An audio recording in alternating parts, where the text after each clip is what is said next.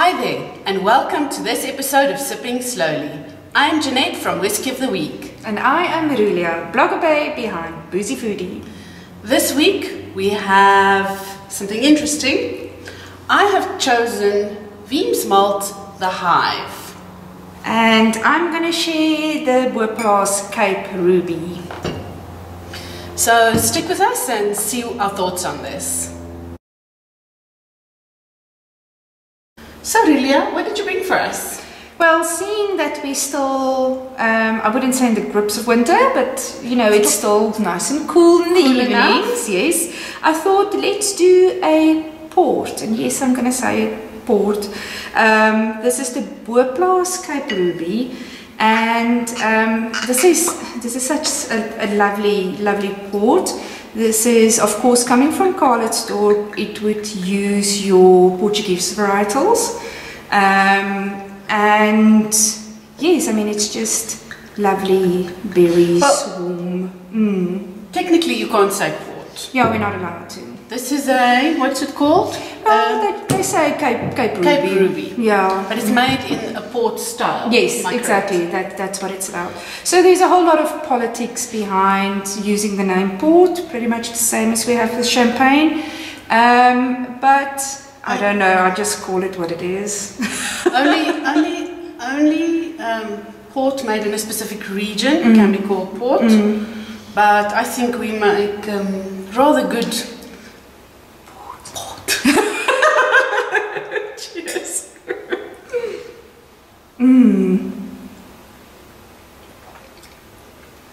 Isn't that beautiful? Oh, it's nice. It's not overly sweet. No, it isn't. No, it isn't. Um, yeah, I think it, it's it's and I mean four four star platter guide, which is which is quite good.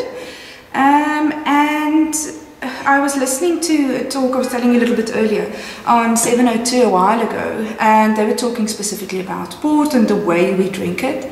And what I found quite interesting is we mainly have it as you know after dinner drink or With some cheese. with some cheese, you know, like a aperitif. But um, we should actually experiment a little bit more when it comes to drinking port. Um, I remember them specifically saying, big glass of wine, lot, oh, big big wine glass, lots of ice, and you know, just just sip on it. And I think that's quite an interesting interesting idea because we're so used to drinking port like this. glasses. And it's perfect. I mean, it's, there's nothing wrong with it, but I like the idea of, you know, big glass. big glass, lots of ice, nice, easy drinking in summer as well. Because it's wine based. Yes, exactly. So- exactly. So, yeah. Uh, if I can, Mm. Whiplash not only make they, they also actually do whiskey and gin. Think I their- saw that. Mm. their whiskey I think is aged in brandy casks.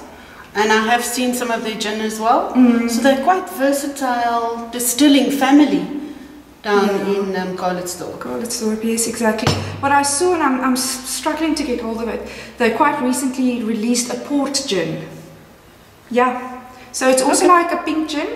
Um, and yeah, I'm, I'm, yeah, I've, I, I need to get my That hands on that. I need to get my hands on for now, Yes. Cape Ruby, not port. it's very delicious. It will be fine, thank you.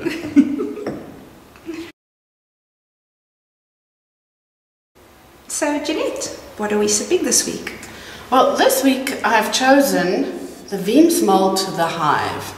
I tried Wemyss for the first time at Wild About Whiskey in Dalsburg. Okay, okay. Love that place. Yes, they have an amazing variety, and a lot of the the whiskey they or the Wemyss whiskey they have there are single cask whiskies. So it's one big cask that they bottle. It's about 300 odd bottles, and they give it tasting notes, mm. and they they issue that.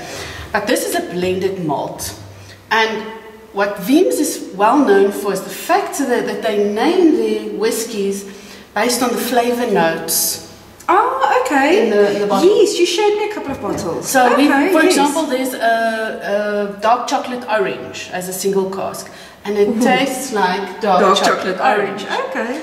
They have gooseberry marmalade. They have brandy casket, a single malt, and you mm. can't find that in South Africa. Mm. However, the blended malt you can find in South Africa. Now, mm-hmm. blended malt is a malt that has a mixture of different distilleries, but there's only malt whiskey in here. There's no grain whiskey. So grain whiskey is similar to a to a Bain's. Mm, mm. There's no grain whiskey in here. There's only malt whiskey, and I think there's about ten different distilleries in here. Oh, wow. And the idea is to make it sweet, honey sweet, the hive. Oh, of course, of course. So, and this is Look at that colour. it's beautiful, like mm. honey. It's mm. honey colored. That is gorgeous. And it's not too ex- expensive. I can't remember the exact price, um, but it wasn't that, that expensive.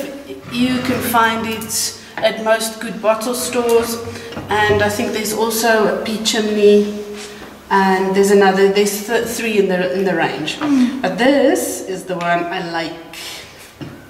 And I see it's got a little bee on the hive. Oh, cool. Hmm. So there we go. And you'll immediately pick up honey. Mm. Yes. There's honey, fruit, bits of ginger. Mm. Oh, it's lovely.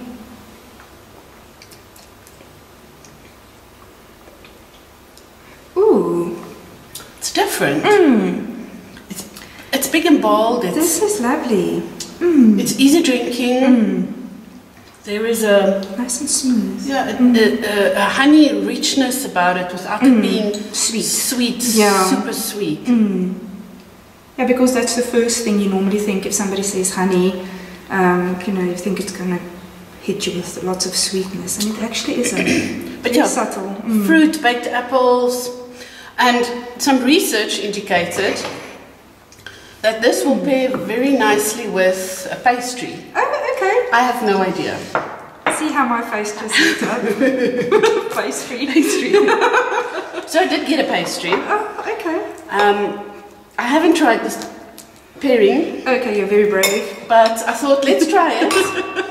it might be overly sweet. Mm-hmm. there we go. Sorry. Grab a bit. Thank you. And see if this um, if this tasting of a pastry, French um, raisin roll, and the hive isn't overly sweet or works. Lovely pastry.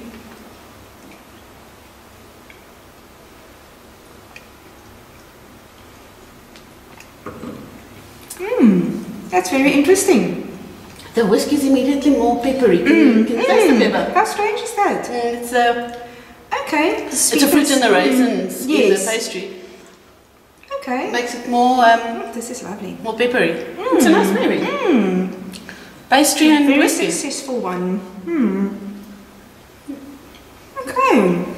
I like it. Hmm. Your research is like good. Yeah, this is decent. Hmm. Whoa, this was cool. Thank you. This was really nice. So after we devoured the pastry off camera, which was really delicious, and finished all the port, that was also very delicious. Thank you for joining us on this episode of Sipping Slowly. Follow us on Instagram, Facebook, and Twitter and see what else we get up to. If you like this episode, give us a big thumbs up. And if you've got any questions, leave a comment below and we can um, answer the questions or talk about something that you've, question, you've got questions about. Have a great week and we'll see you again next week.